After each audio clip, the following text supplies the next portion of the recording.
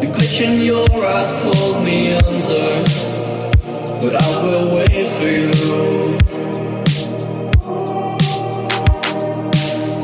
There's nothing left for me to do than running myself a fool. No point in trusting anyone.